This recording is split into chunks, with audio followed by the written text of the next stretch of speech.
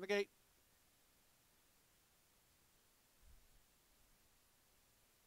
And the race is on. Bit of an awkward start there on the outside for Thousand Loves.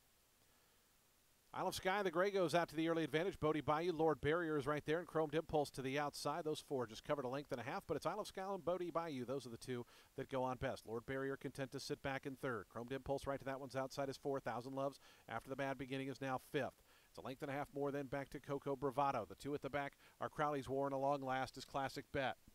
They take their run into the fire turn off a 22 and 1 contested opening quarter here. Isle of Skye a half length in front of Bodie Bayou on the outside. Those two continue on past the 3 8 pole. Lord Barrier can't complain about the setup, just two and a half lengths behind the top two. It's another three now. Back to Chromed Impulse, who's pushed along from fourth. Then comes Thousand Loves in fifth. Another three and a half to Coco Bravado. The others have to get going as Bodie Bayou takes over at the top of the stretch. Isle of Skye back to second. Lord Barrier swings into action on the outside, trying to come after Bodie Bayou. Bodie Bayou, Isle of Skye still pitching away down toward the inside is not done yet. Down the far outside, Lord Barrier, Chromed Impulse putting in a run.